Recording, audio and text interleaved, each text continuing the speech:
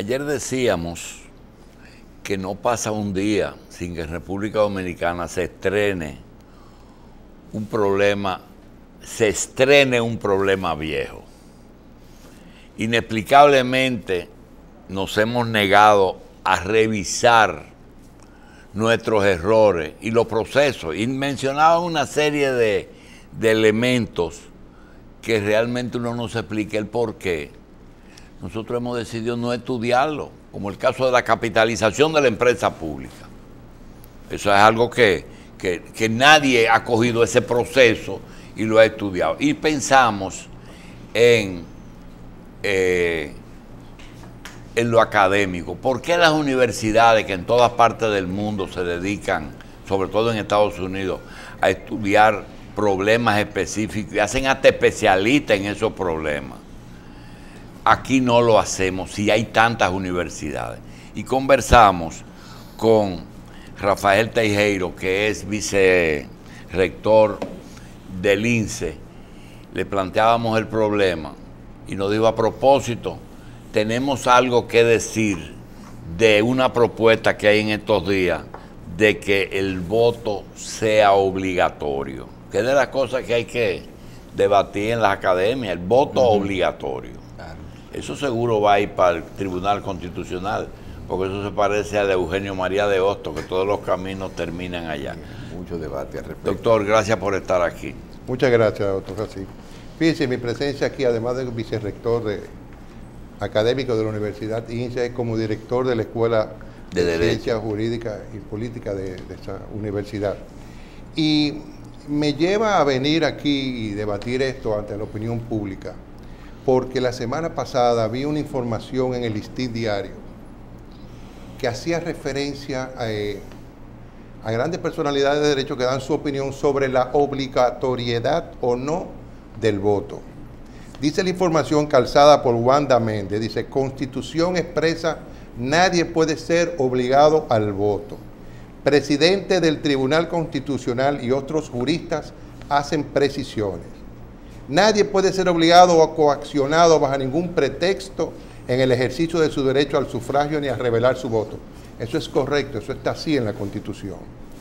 Ahora dice aquí, en ese texto constitucional se apoyan el presidente del Tribunal Constitucional, Milton Rey Guevara, y los presidentes de la Fundación Justicia y Transparencia, Trajano Vidal Potentini y, y Prensa y Desarrollo, Nanfí Rodríguez.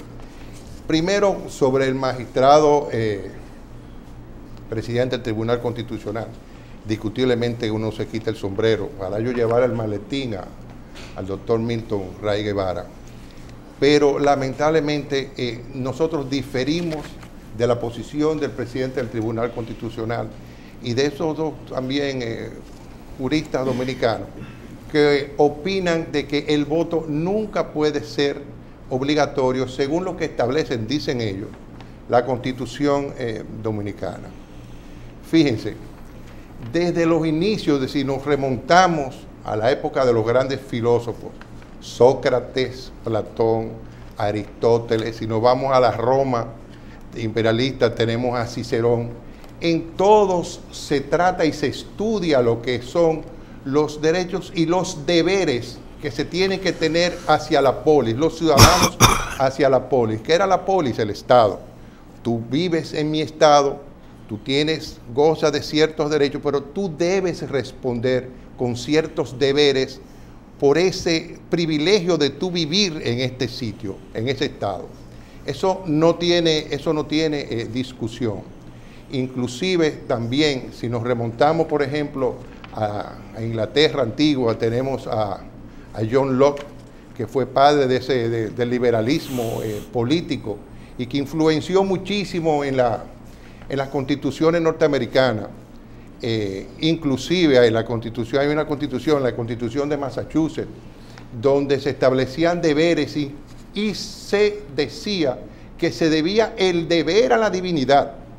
O sea, que la constitución del Estado decía que uno debía adorar a Dios, porque era una constitución, recuérdese, como, establece la Constitución de los Estados Unidos y el billete norteamericano habla de que en Dios creemos, en God we trust.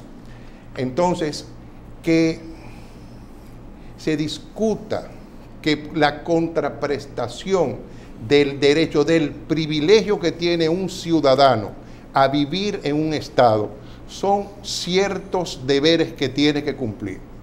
Nuestra constitución claramente establece en dos artículos esos postulados. Tenemos derecho, usted tiene que, usted tiene el deber de trabajar, usted tiene el deber de constituir con las cargas, con las cargas del Estado.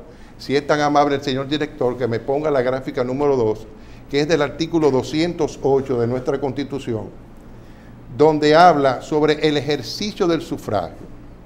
Pero antes de seguir, ¿usted considera que es obligatorio? Sí, claro que, que es un deber ciudadano. Claro que sí. Y es muy fácil.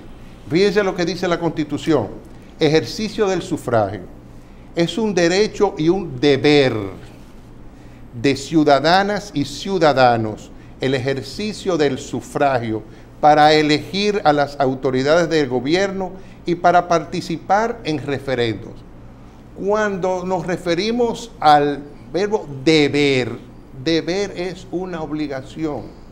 Eso no lo estamos inventando nosotros. Si el señor director es tan amable, hay una definición del diccionario de la lengua española donde está deber, donde se establece qué significa, qué significa eh, deber.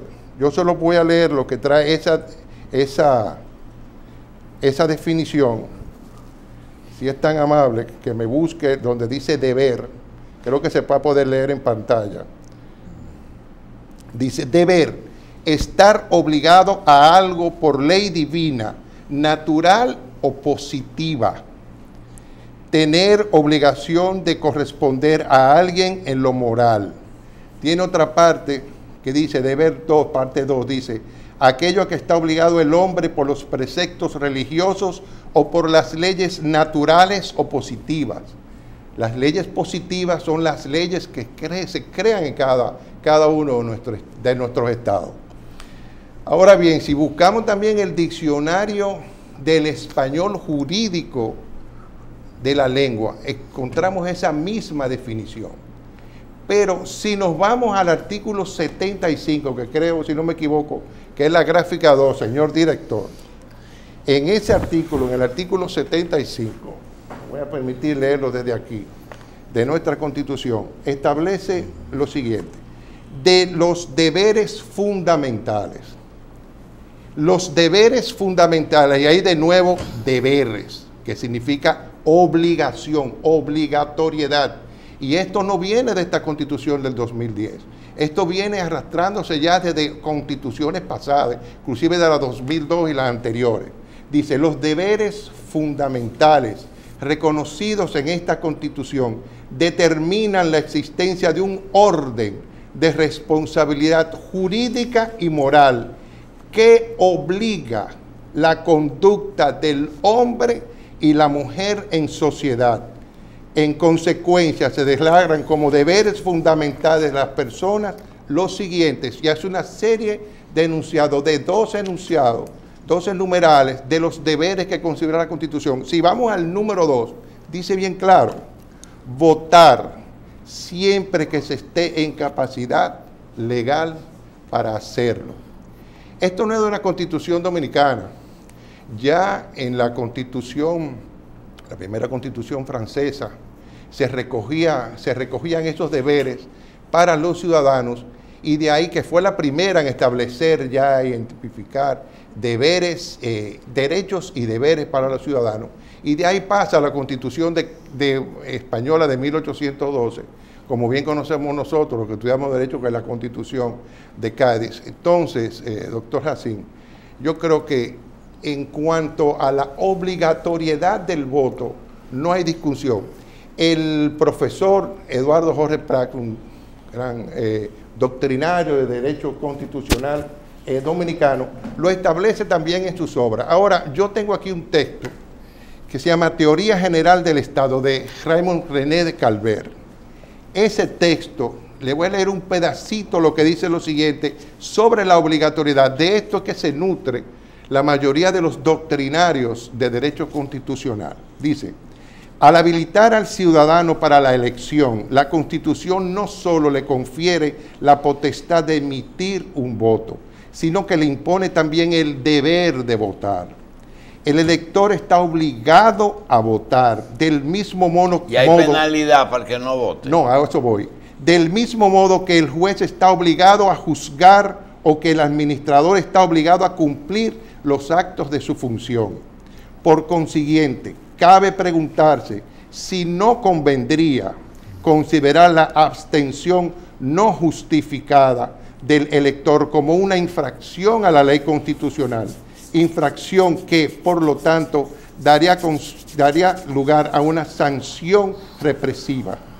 Cabe observar que si el derecho de sufragio no fuera sino una facultad individual, esta cuestión ni siquiera podría formularse, pues el poseedor de semejante facultad es libre de ejercerla o no. Entonces, inclusive el profesor eh, Jorge Prat establece que lo que tiene que ver con el voto es un derecho de ver. Yo soy de la opinión de que indiscutiblemente el voto es obligatorio. Ahora, no hay una sanción establecida como tal, no la pena sin la ley previa. No, nadie se puede condenar por no eh, ir a votar. Ahora mismo hay una agrupación política que está eh, propugnando por establecer una ley especial donde se, donde se diga que se va a sancionar al que no, vote. Yo particularmente eh, estoy de acuerdo con que se establezca eh, la obligatoriedad del voto y se establezcan sanciones. ¿Qué sanciones podrían ser? Pudieran ser labores sociales al principio. Hay otros estados donde se, le, imponen, se le imponen multas, pero eh, yo creo que todo debe ser gradual y más en nuestro país. Bien, doctor, gracias. Okay.